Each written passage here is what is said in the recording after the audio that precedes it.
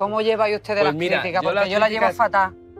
Yo no las llevo. ¿Sabes por qué yo lo llevo mal? Yo lo llevo mal por el daño que pueden hacer a mi madre y a mi ¿Y padre. porque hablan que es- sin saber, Mario? sin saber. Y, y encima me están dando una importancia que ni yo mismo me la doy. Eso sí, con ese comentario gratuito, hiriente, ¿tú te crees que me vas a hacer daño? Me voy a crecer mucho más. Y voy a decir ahora, mira, hijo, la gran puta.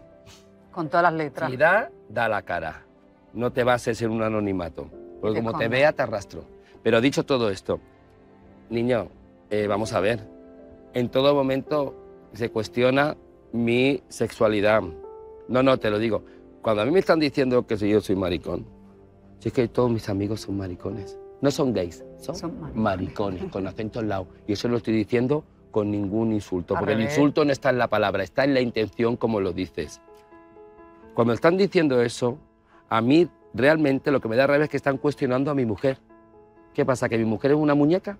¿Mi mujer se va a morir de inanición? ¿Estás diciendo tú, maricón, que se supone que tenías que ser más tolerante porque yo hablo en femenino y me ponga rulos como Rocío Jurado, que me encante y me pinte y tal y cual? ¿Eso estás cuestionando mi relación con mi mujer? ¿Estás cuestionando a ella? ¿Qué pasa? ¿Que estás diciendo por un lado que es la más inteligente de España y va a ser una tonta después en casa? Claro.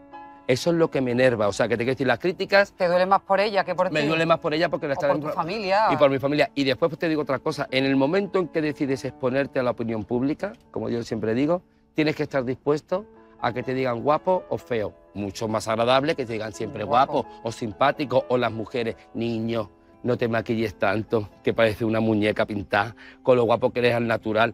¿Sabes lo que te quiero decir? Y a esa gente que no le gusto, que entiendo que haya gente que no le guste por mi forma de ser y no sé cómo me pasa Claro, a mí, no otra gente, mundo. pero tiene educación. Porque si yo no te pregunto qué piensas de mí, no me lo tienes que decir. Entonces es así. A mí Pero la- esto es lo que más te molesta a ti de las críticas, que se A mí lo- metan un poco con el tema. Sí, bueno, pero ya es una cosa que... Y encima yo lo fomento más.